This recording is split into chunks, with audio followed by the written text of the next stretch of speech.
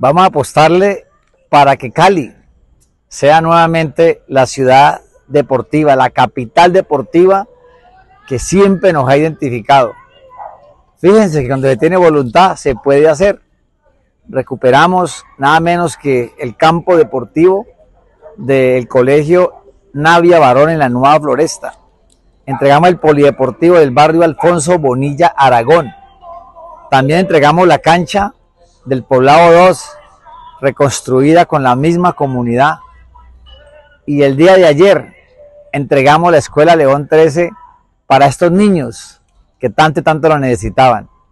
Fíjense que tener voluntad es querer hacerlo y le vamos a apostar a recuperar todos los escenarios deportivos de aquí de la ciudad de Cali.